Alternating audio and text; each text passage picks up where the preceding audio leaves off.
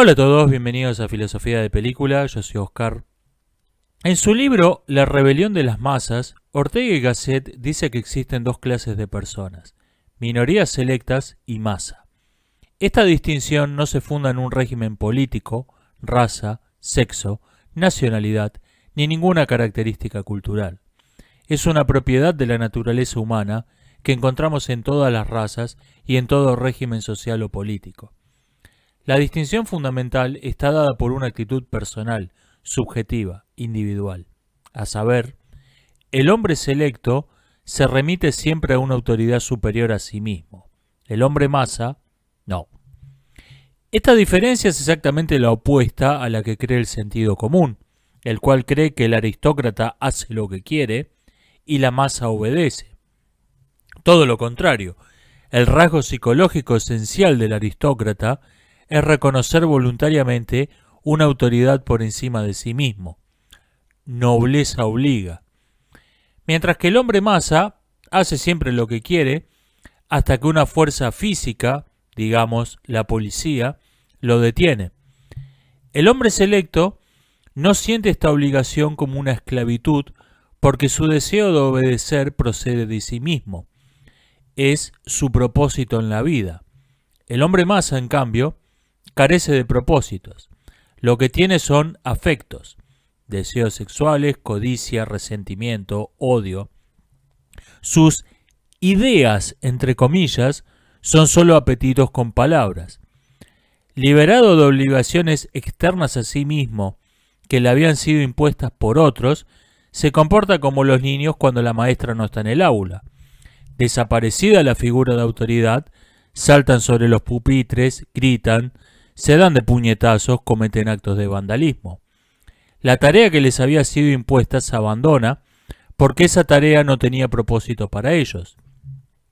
Del mismo modo, se comportan los pueblos y las razas infantiles cuando se ven libres de obligaciones impuestas por otros. El hombre masa tiende a agruparse con otros hombres masas en grupos homogéneos y multitudinarios. El hombre selecto tiende a separarse de la masa y solo indirectamente advierte que esto les da a todos ellos un cierto aire de familia y entonces se les ocurre la idea de formar alguna clase de club. Este club tiene unas reglas completamente distintas a las de la masa. La masa es brutalmente intolerante con cualquiera que se diferencia de ella, con cualquiera que no sea masa. Las heterodoxias en el vestido se castigan con la burla, las heterodoxias en el pensamiento con la muerte. El club de la minoría selecta, en cambio, se basa en la idea de que cada uno es diferente al resto. La tolerancia a sus peculiaridades personales es el principio fundacional del club. En todo el mundo y durante toda la historia, se consideró que la primera función del gobierno era mantener el orden. Hacía esto administrando justicia y castigando a los infractores.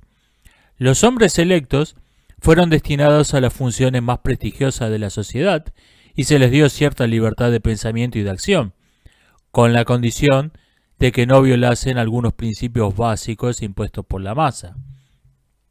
La masa vio a todos estos Víctor Frankenstein con una mezcla de admiración y de sospecha. Por un lado, eran los generales que ganaban sus batallas, los constructores de acueductos que llevaban agua a sus casas, los arquitectos y artistas que hacían bellos templos a sus dioses, los médicos que curaban sus enfermedades. Por otro lado, sus extravagancias y su tendencia al pensamiento herético les resultaban inquietantes. Hasta que en Occidente se produjo una revolución del pensamiento que sólo incidentalmente coincidió y más o menos con tres revoluciones políticas. A saber, se decidió que las minorías electas debían gobernar. Esta revolución fue en cierto modo un ennoblecimiento de la masa. La masa reconoció la autoridad de los hombres superiores y se sometió a ella, comportamiento que es en sí mismo típico de, de minoría selecta. El resultado de esta revolución fue la civilización más formidable que haya existido sobre la faz de la Tierra. La civilización occidental moderna es superior a cualquier otra, pasado o presente, no como Usain Bolt es superior al resto de los corredores de élite, sino como un corredor de élite es superior a una anciana caminando ayudándose con un andador. Prueba de esto es que toda persona que intenta negar una verdad tan evidente debe recurrir a alguno de tres métodos fraudulentos o a una combinación de ellos. Mentir, apelar a un concepto difuso e inverificable, o, o, invocar un concepto acuñado por la propia civilización occidental moderna, señalando las falencias de esta comparándola no con otras civilizaciones, sino con una versión idealizada de sí misma. Si hacemos cualquier comparación honesta, basándonos en hechos reales, medibles y verificables imparcialmente, la diferencia es abismal. Extensión de los derechos civiles y políticos, reducción de la mortandad infantil, calidad y expectativa de vida, progreso científico y tecnológico, innumerables etcéteras. Todos estos logros dependían de conservar un pacto entre la masa y las minorías selectas.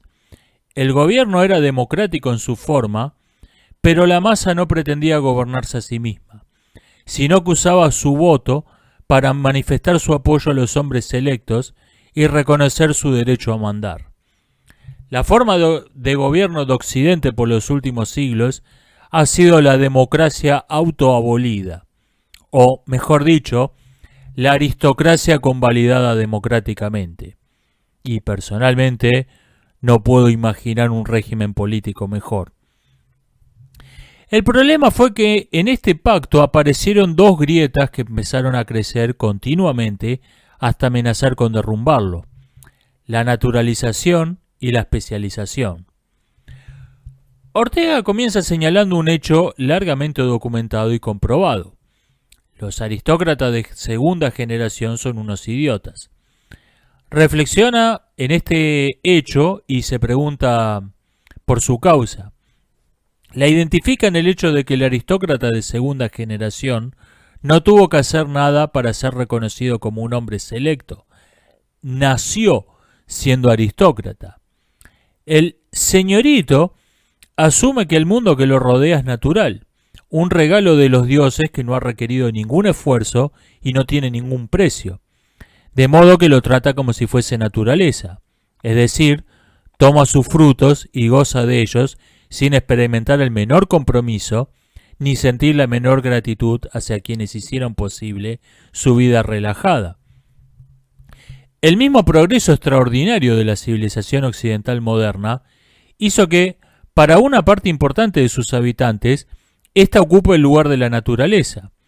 Su carácter artificial no se advierte porque se vive desde la cuna en ese mundo artificial relativamente paradisíaco. Esto produce una multitud de aristócratas de segunda generación, una cultura de señoritos satisfechos, con los rasgos psicológicos típicos de la pereza, la indiferencia y la ingratitud que caracterizan al señorito satisfecho eterno. Solo que ahora producido en serie por millones. La convicción de que las minorías selectas deben mandar empieza a desgastarse porque no se advierten los beneficios de esa autoridad. Ortega pone un solo ejemplo de esto, aunque es un ejemplo muy elocuente. La ciencia era, en su tiempo, más prestigiosa que nunca era una especie de religión laica. Los hombres de ciencia como Albert Einstein eran celebridades públicas. Bien, la masa disfruta los beneficios surgidos de la investigación científica. Oye música por la radio, toma aspirinas cuando le duele la cabeza, viaja en ferrocarril al trabajo, y sin embargo, el presupuesto destinado a la investigación apenas había aumentado en más de un siglo y toda propuesta en esa dirección recibe automáticamente la desaprobación y la resistencia de los partidos políticos de masas.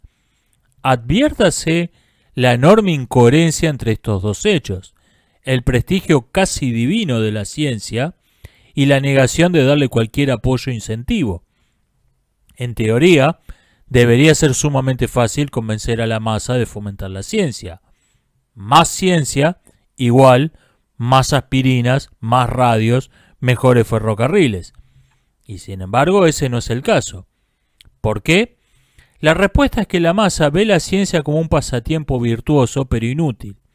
No lo asocia con las maravillas de la tecnología. La masa cree que las computadoras crecen en el árbol mágico del Internet, lo cual, por cierto, es completamente literal en la película Avatar. La ve como naturaleza, no la ve como técnica. Un dato curioso es que muchos hombres de ciencia destacados incluso comparten esta misma opinión. George, Hardy fue un matemático que saltó a la fama con un paper sobre lo que ocurre cuando se permutan números en un algoritmo. Fue también amigo de Albert Einstein y, al igual que este, un convencido y apasionado pacifista. En 1932 dijo en una entrevista, cito, Me gusta pensar en lo que hago como ciencia pura, sin aplicación práctica, pues nadie ha descubierto un uso militar para la teoría de números ni para la teoría de la relatividad, y dudo mucho que, ello vaya, que eso vaya a ocurrir en el futuro, incluso en un futuro lejano. Cierro cita. Trece años después, los aliados ganaban la Segunda Guerra Mundial usando la bomba atómica para destruir dos ciudades japonesas y su teoría de las permutaciones para quebrar la clave enigma de los alemanes. Lo que nos lleva a la segunda gran grieta, la especialización. Durante la mayor parte de la historia de la humanidad hubo solo dos clases de personas, sabios e ignorantes, y entre ambos no había más que casos intermedios una gradualidad de semi-sabios, semi-ignorantes. La especialización del trabajo intelectual en la sociedad industrial creó un tercer tipo de hombres, los especialistas. El especialista no es un sabio, ni un ignorante, ni algo intermedio entre las dos cosas. El especialista sabe más de lo que ha sabido jamás el mayor de los sabios acerca de una porcioncita minúscula de la realidad, a la vez que lo ignora todo sobre cualquier otro asunto. Este proceso es continuo e irrenunciable si uno quiere llegar a hacer algún descubrimiento. El contenido de información en cada especialidad crece hasta que su dominio universal por una sola persona se vuelve imposible. Entonces, se lo subdivide en varias nuevas especialidades, sobre cada una de las cuales se publica una cantidad de papers que terminan volviéndose imposibles de leer por una sola persona, y así ad infinitum. El físico de partículas Javier Santaolalla cuenta que, trabajando en el CERN, compartía su oficina con otro físico de partículas un poco distinto, y en sus ratos de ocio conversaban sobre fútbol y películas de superhéroes, porque ninguno tenía la menor idea de, en qué consistía el trabajo del otro. Julio Verne satiriza la figura del especialista en una novela, donde nos pinta un naturalista que solo, solo estudia los hexápodos, animales de seis patas, sin interesarse por prácticamente nada más y siendo desde todo punto de vista un hombre infantil, necesitando una especie de niñera que lo cuide todo el tiempo. En un momento, unos marineros capturan un animal muy extraño, bioluminiscente, que flotaba en el mar y se lo llevan. El naturalista le da un vistazo por curiosidad, pero como el animal no era un hexápodo, no le presta mayor atención. Bueno, esto era una sátira en, en el siglo XIX. Hoy, solo el estudio de las hormigas, no de todos los hexápodos. El estudio de las hormigas está dividido en alrededor de 30 especialidades, cuyos expertos casi no se entienden entre sí cuando hablan. El especialista es un hombre masa en un 99,99% y un semidios en el otro 0,01%. El cine creó el cliché del, villano sofisticado, el villano de modales refinados, buen ajedrecista, amante de la música clásica. Bueno, ¿cuál es la música más descargada de Internet en el CERN? Reggaeton. Y en la NASA, rock folk.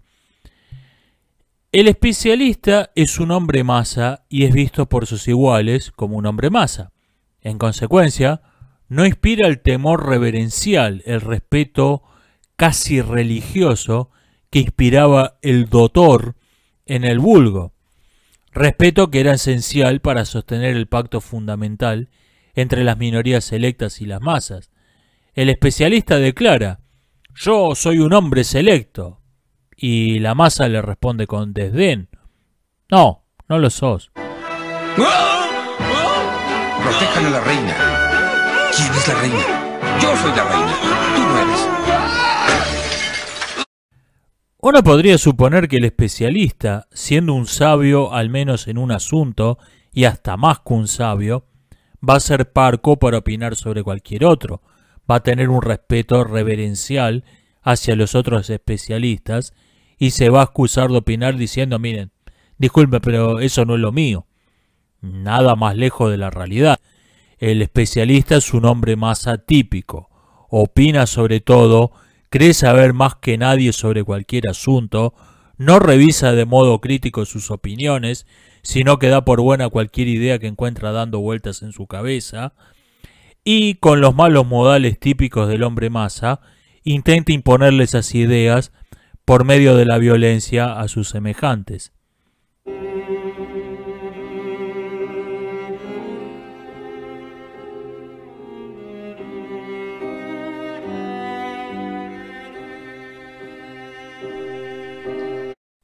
En las décadas que siguieron a la publicación de la rebelión de las masas, el espíritu de la sociedad de masas se suavizó, o mejor dicho, se disfrazó, se camufló, se disimuló.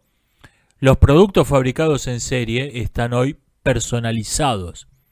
Personalizar significa básicamente disimular que algo está producido en serie. El espíritu de nuestra época no está representado por el forte, sino por las pizzerías. Tenemos 800 millones de variedades de un solo plato. Venga a elegir libremente la que usted prefiera. La diversidad fake es la nueva forma de la cultura de masas. Pero no hay que dejarse engañar por su aspecto superficial o por palabras sueltas que suenan bonita.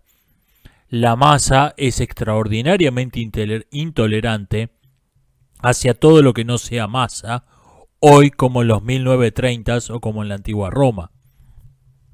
La ideología identitaria es la expresión política de la personalización, la manifestación ideológica de ese tipo humano paradójico que Ortega advirtió por primera vez en la figura del especialista técnico-científico. Ortega divide a la humanidad en dos grandes grupos, masa y minorías selectas.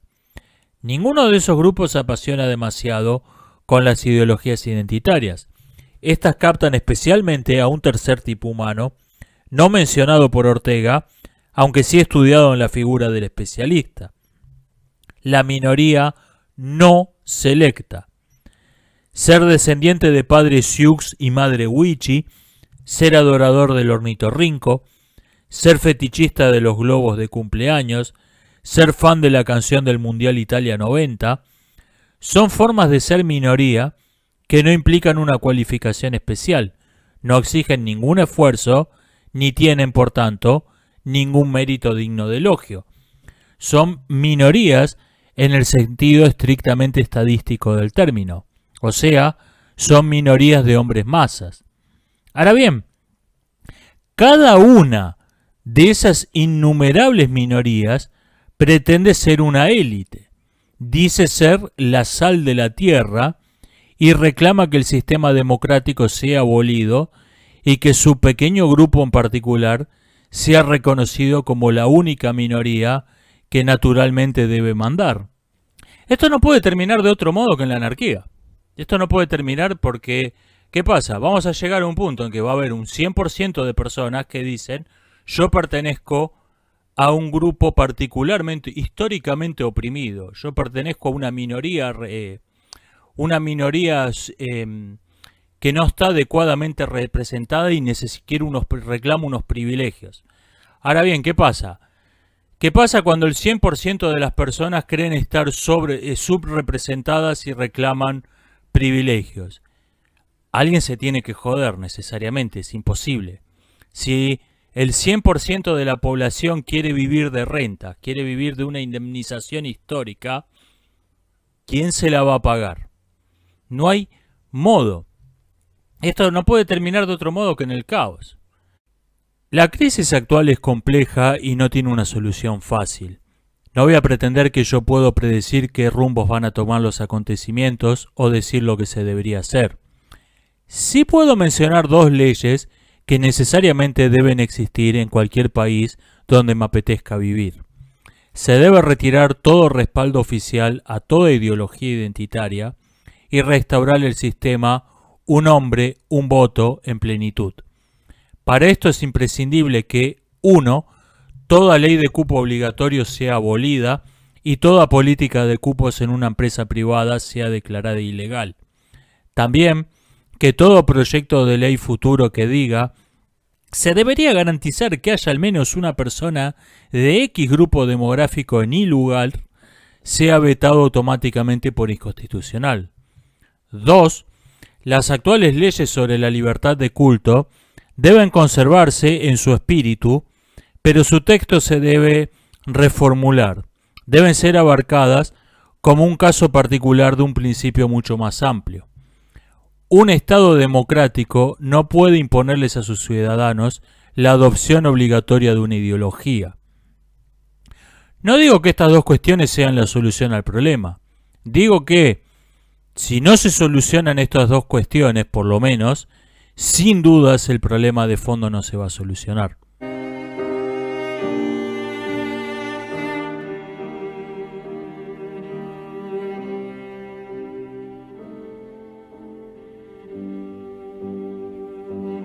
Pero quizás las reformas legales no sean lo más urgente o sean inútiles si no nos ocupamos de otra cuestión previa, que es personal y que debe resolver cada uno dentro de su propia cabeza.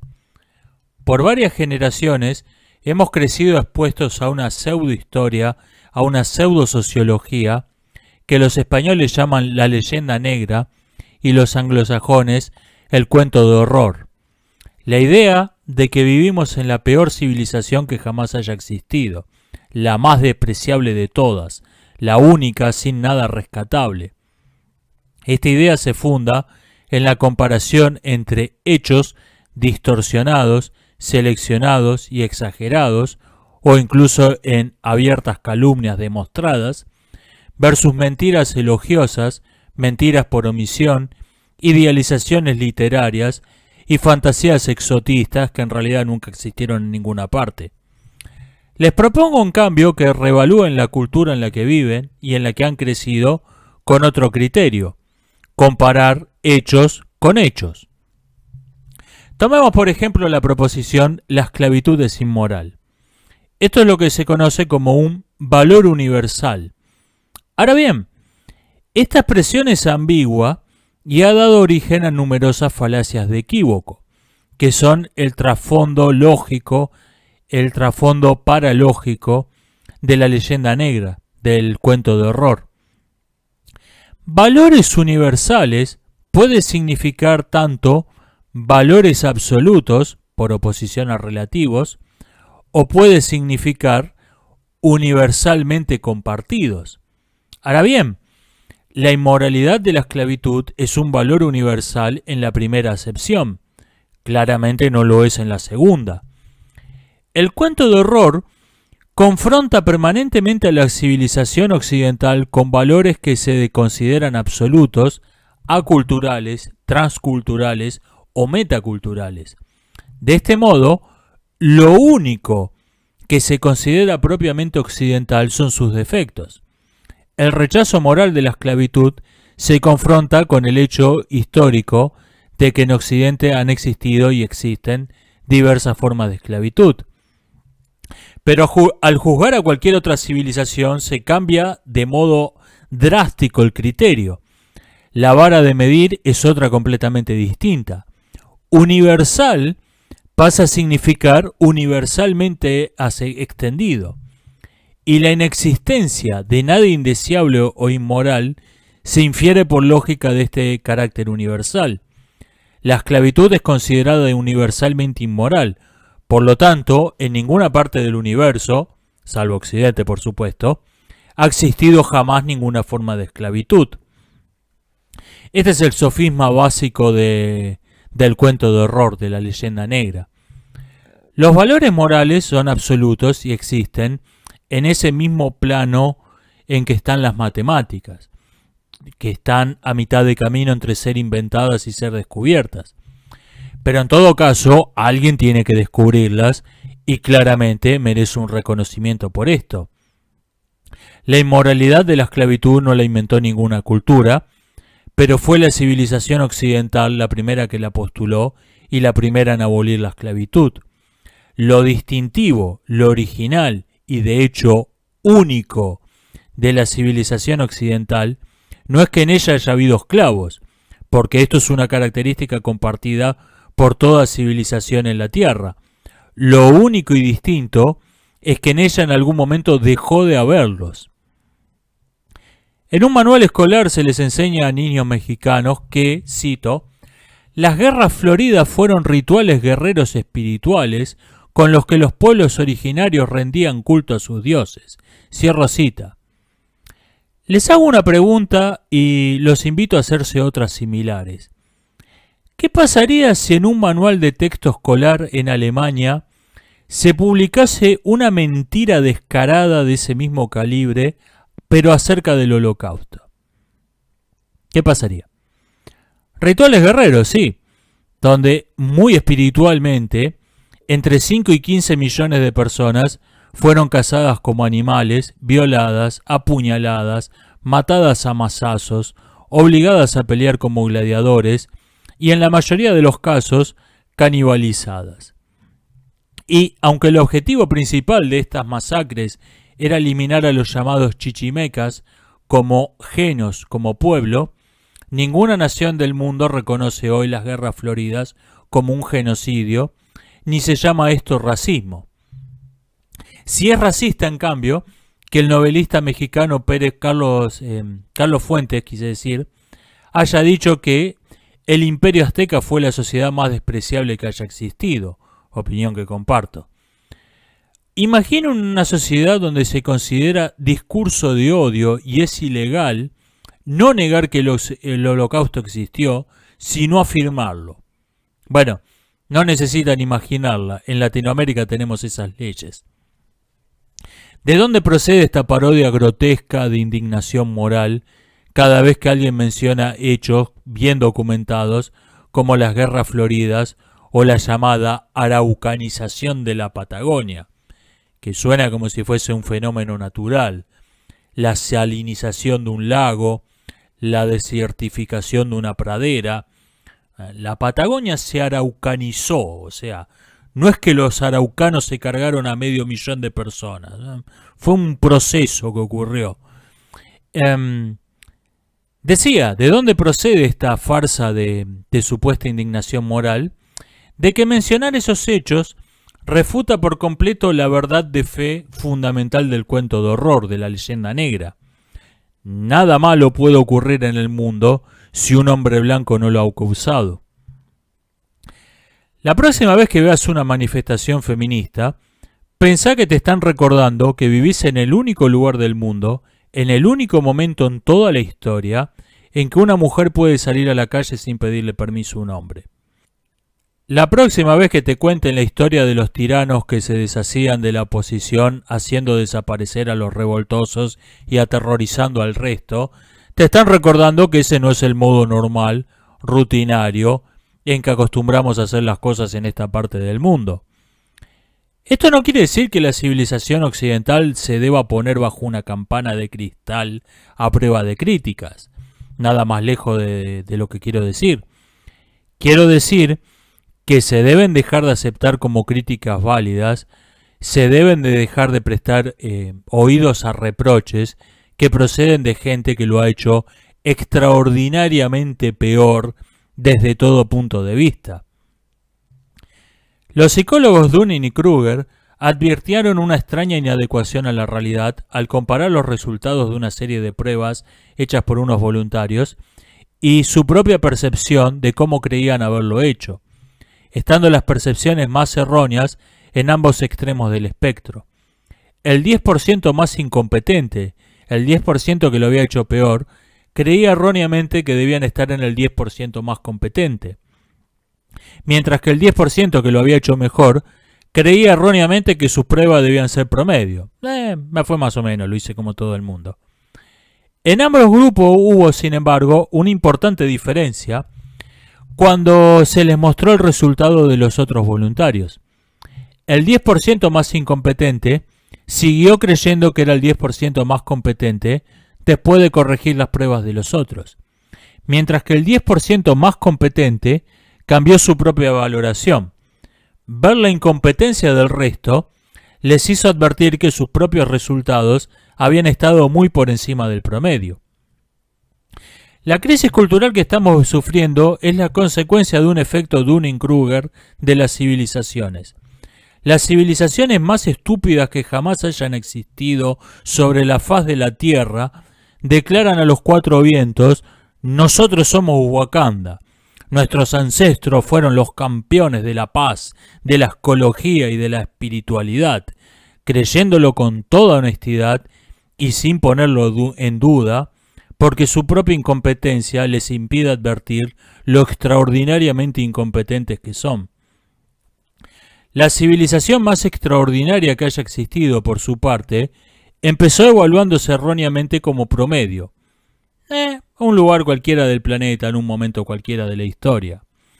Cito, decidí seguir las costumbres de mi país, no porque no haya entre los persas o los chinos tantos hombres sensatos como entre los nuestros, sino porque, cierro cita, empieza explicando Descartes su ética.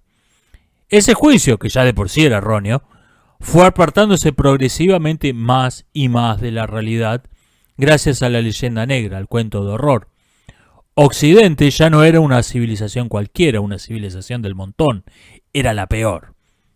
Era la única que no tenía nada valioso, la única que jamás había creado nada. Y mm, si no queremos hundirnos en una edad oscura, ese juicio tiene que ser revisado y cada civilización tiene que volver a ser tasada por lo que vale y no por lo que los propagandistas antioccidentales nos dicen que vale. La cortesía es una virtud que tiene algún valor, pero no deja de ser una forma de la mentira y, cuando decir la verdad es un asunto de vida o muerte, se la debe abandonar si es necesario. Cualquiera que haga una comparación honesta y seria entre civilizaciones tiene que llegar necesariamente a la conclusión de que compartimos el planeta con un montón de completos orates, lo diga o no.